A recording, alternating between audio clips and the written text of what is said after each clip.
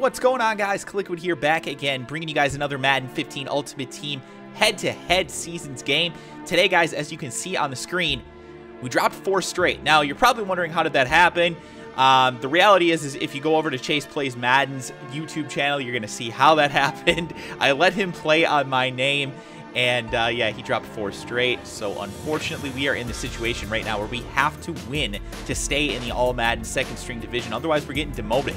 So this is a pretty big game, guys. Uh, first time that I've actually really had an opportunity to be demoted. So I don't want that to happen. To try and walk away with the W here. But unfortunately, in this one, I'm actually going to get matched up with somebody who is a YouTuber, or actually, excuse me, not a YouTuber, a Twitch streamer. Um, Good Game Sports. If you guys don't know who he is, go over to his Twitch channel. It's Good Game Sports, and then I think there's an underscore after it or something like that. But um, that is his PlayStation name as well. He's got a beast-ass team.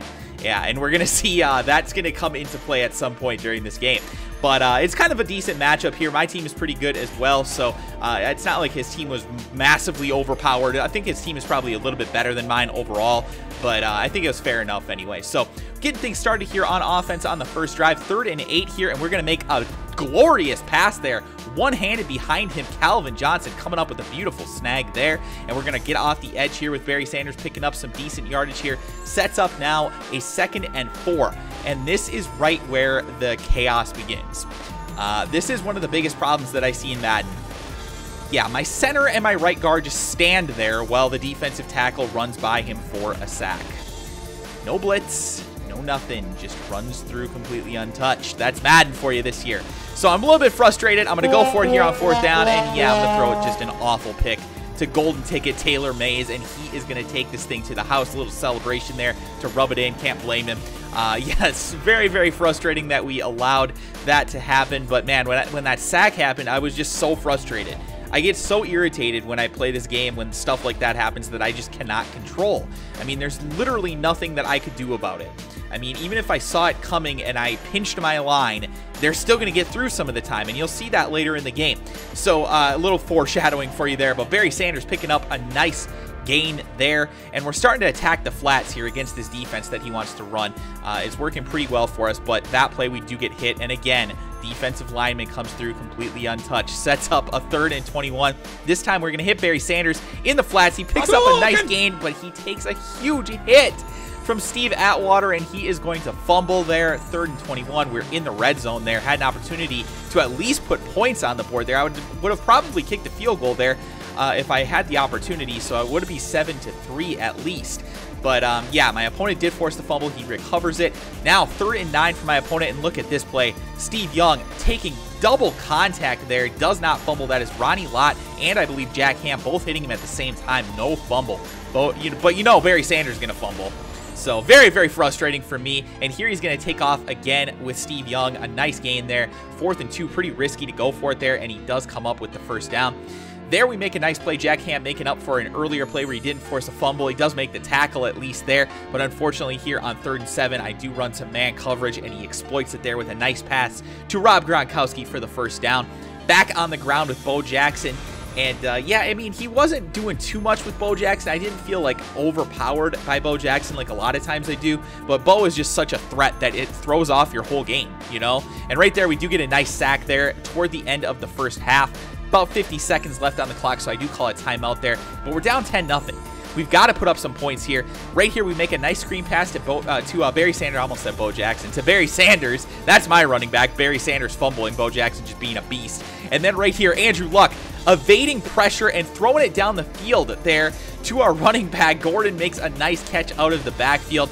Uh, so a nice play there, and we're going to bomb it here with about eight seconds left on the clock don't complete it, so that sets up a field goal here. So at least we got some points before the end of the half. We don't go into the half with a goose egg on the board, so it's a little bit of a con confidence boost there coming out of the second half.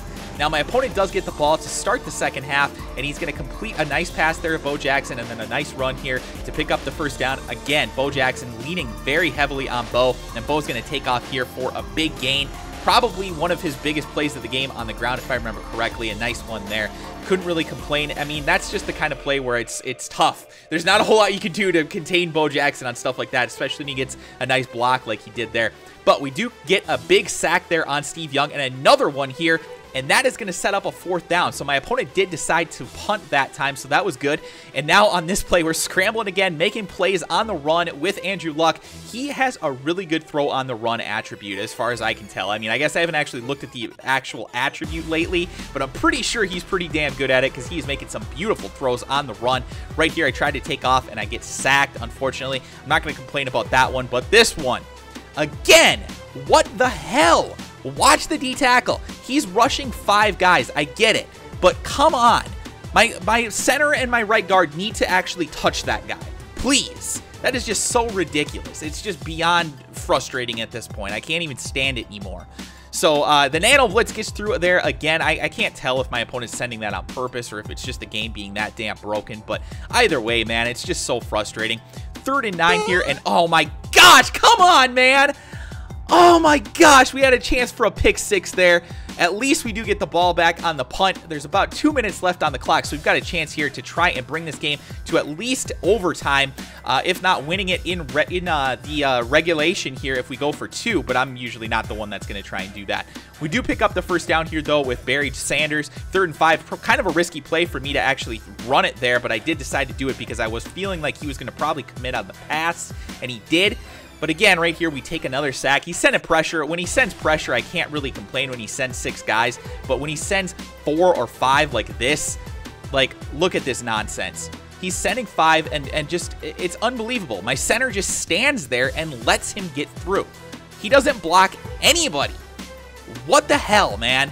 Sets up a fourth and 31. I felt like the pressure was going to get there again, so I just threw it up into coverage. If you watch again, he did get through, but my running back actually picked up the block that time because I set him uh, in uh, protection. So that ended the game. Uh, I'm not going to walk away with the win here. We are going to get demoted. Really frustrating, but I mean, overall, a good game by my opponent. I can't complain too much. He did outplay me in this one. We're getting demoted. So that's a little bit irritating, but what can you do? Hope you guys enjoyed the, the gameplay video. If you did, please be sure to hit that like button. Of course, subscribe to the channel if you are new. Thank you guys so much for all the support. Hopefully we can come back next season, and I'll talk to you guys again soon.